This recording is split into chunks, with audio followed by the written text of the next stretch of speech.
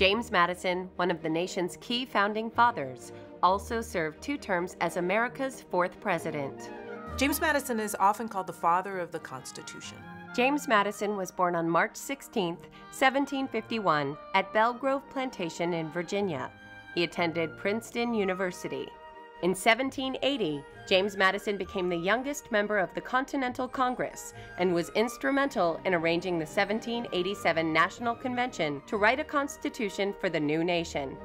James Madison came up with this idea, known as the Virginia Plan, the system for bicameral legislature, which gave representation on population in the House of Representatives and to the states in the Senate.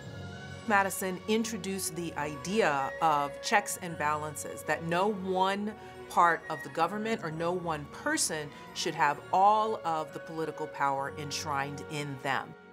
After the convention, Madison, Alexander Hamilton, and John Jay began writing numerous articles, now called the Federalist Papers, to convince the states to ratify this new constitution. The Federalist Papers were important because they established the principles that a strong national government was needed to move the country past the Articles of Confederation and toward a new system of government.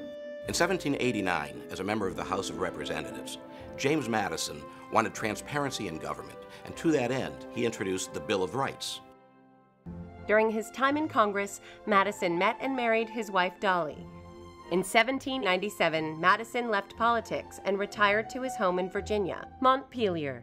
He returned to politics in 1801 when his longtime friend, Thomas Jefferson, asked him to be his Secretary of State. While Secretary of State, James Madison's greatest challenge was to prevent the kidnapping of American sailors by the British who were trying to impress them into service. Ultimately, James Madison decided the United States needed to halt trade with Britain, and that eventually became the embargo of 1809. In 1808, Madison succeeded Thomas Jefferson as President of the United States, winning by a wide margin.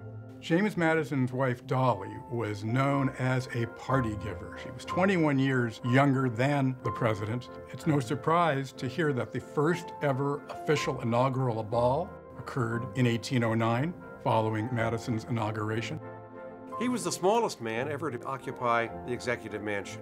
I think he was five feet four and never weighed 100 pounds, dripping wet. During Madison's second term in office, relations with Britain devolved into what is now known as the War of 1812.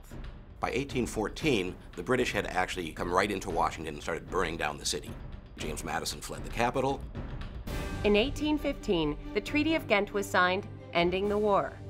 When Madison left office, two years later, the country was prospering. James Madison is really the architect of our founding ideals. James Madison died on June 28, 1836. Because of James Madison, we have the system of checks and balances, we have modern judicial review, and we have the Bill of Rights. That's the legacy of James Madison.